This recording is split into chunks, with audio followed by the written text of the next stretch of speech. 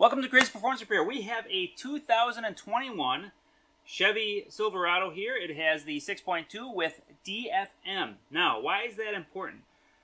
I'm actually going to do a video exclusively on trying to see if there's an option for releasing the DFM lifters if they were to ever get stuck on this type of vehicle.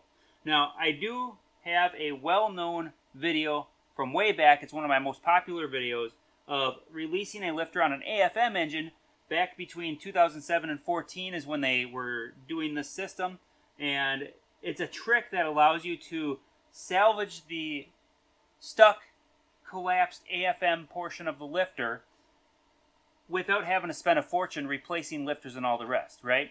So it saved people lots and lots of money, and I'm hoping I can do something similar on these in the future. Now, I have not heard of any collapsed lifters on these particular vehicles. This one actually has a rotated lifter from a pl bad plastic guide. Now, that's going to be much more common. If you want to see information about that, I'll throw a link for that video either in the corner or in the description below. This video is separated though because I'm going to actually pull these solenoids out and see if it's possible to do that. So I'll bring it closer and we'll take a look.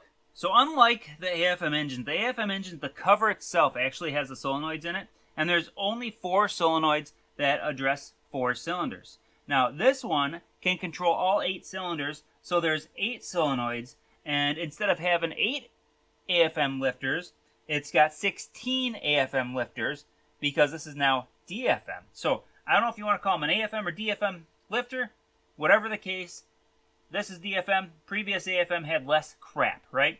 So now with more crap, we're more prone to failure. Let's go ahead and zip this guy apart and see what we're actually working with. So, first things first, of course, I zip the bolts out, but I'm going to get these connectors all disconnected for the solenoids because I'm going to leave them in there to pull the harness out. I believe there's something probably holding them down into place because otherwise they'd be pushed out by oil pressure. This is my first time tampering with one of these, so this should be an interesting experience for me, an interesting video for you.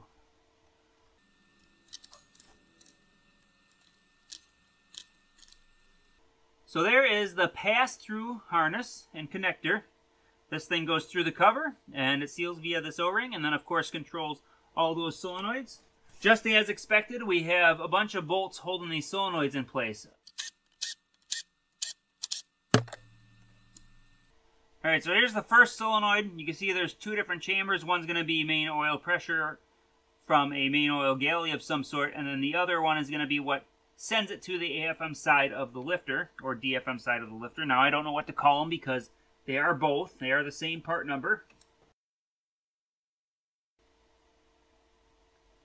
Okay, so I'm looking at this thing trying to justify this, and uh, I see how it works. It's pretty self-explanatory once you look at it. It's actually the center of that solenoid. There's a hole all the way down here. It's just a machined hole, right? Different steps in it. The smallest of the straight hole goes down right into the main oil galley. So the center of the solenoid gets main oil pressure, and then it disperses it out the top of that solenoid, that section that I was showing you, into the side of the largest part of the hole, which then has a hole that's cross-drilled to feed the sides of each lifter.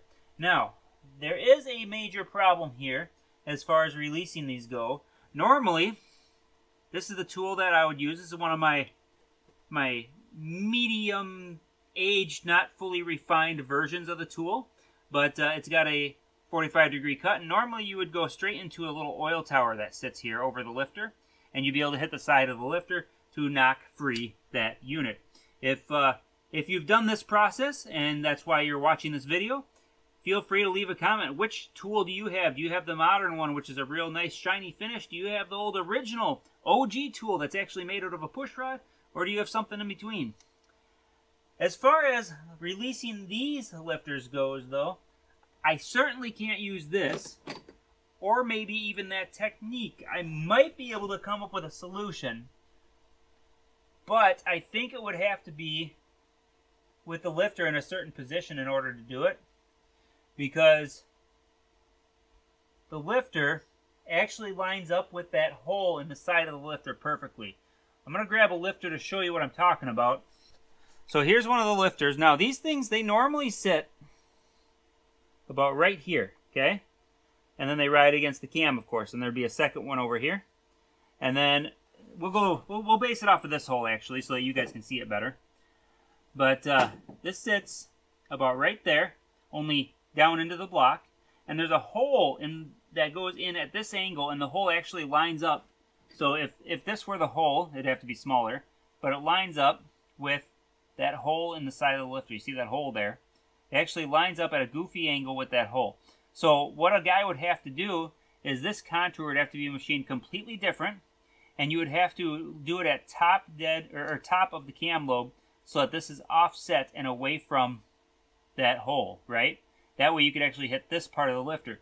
Now, the concern there is when these things get stuck, is hitting it over here going to be able to unstick it? I don't know. I doubt it. Perhaps I'll try and come up with a possibility, but until I get one of these ends with a stuck lifter, there's no reason for me to really try and build a tool because I need to make sure it can actually even function in the first place. So perhaps in the future I'll be able to make a video on trying to release one of these lifters. For now, I can confidently say that there is access to the side of the lifter and there is a possibility of such a tool working. So, if you've seen this video, it's been a couple years since I posted it, whatever, and you actually tried attempting a system yourself, it's going to be much more challenging because the tool is going to have to be much smaller and much better machined. The angles are going to be bizarre, but if you can manage it and not damage your engine, kudos to you. Leave a comment below. I'm highly impressed. Maybe you should make your own video and do your own gig. But otherwise, that's where that stands. You can see how the, the lifter sits in there. And this thing is just not as convenient to be able to release as the previous generation.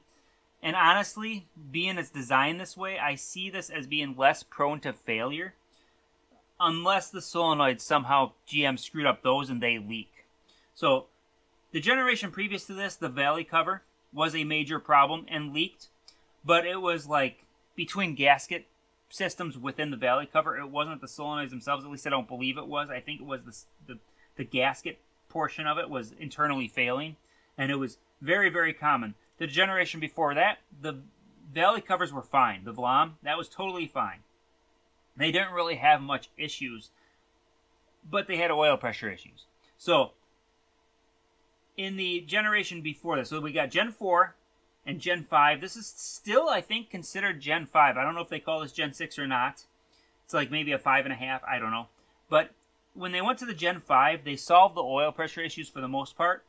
And then when they did this DFM, by putting these solenoids here, theoretically they may have solved the issues with pressurizing the lifters when you don't want to, which is what caused them to fail. So maybe they won't get stuck anymore. But now you have twice as likelihood of rotating a lifter from a bad plastic guide. So that's where we stand. I'm going to continue replacing this system with a non-DFM system. And uh, that's where we're going to sit on this video. Thanks for watching. Like, share, subscribe. And I hope to see you in the next video.